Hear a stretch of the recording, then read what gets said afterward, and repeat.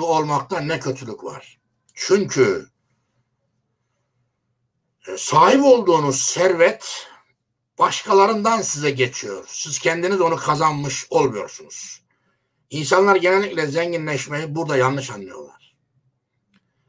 Ee, zenginler sanıyor ki bu servet bize aklımız, dehamız, ticareti, alışverişi iyi bilmemiz sayesinde verildi.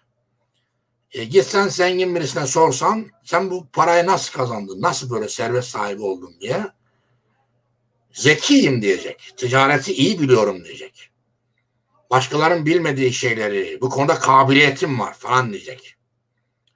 Böyle söyleyecekler. Peki diğerleri niye zengin olamıyor? Çünkü onlar zeki değil. Ticareti bilmiyorlar. Bu işlere kafayı basmıyor. Benim kafam bastığı için, zeki olduğum için böyle zengin oluyorum. Harun da, Karun da böyle söylüyor Kur'an-ı Kerim'de. Bu servet bana bendeki bir ilim sayesinde, bendeki bir geha sayesinde verildi diyorlar. Hep genellikle böyle açılıyorlar. Bu bir yalandır. Bunun aslı astarı yoktur. Benim nazarımda bunun anlamı şudur. Herkes tabii kendine göre bunu anlayabilir ama ben kendim kendim açısından bunu şöyle anlıyorum.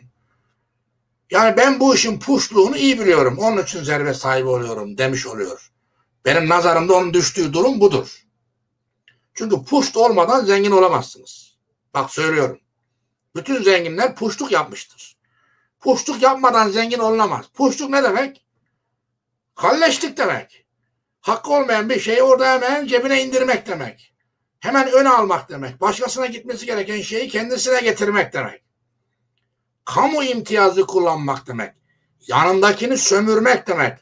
Faizle insanları söğüşlemek demek.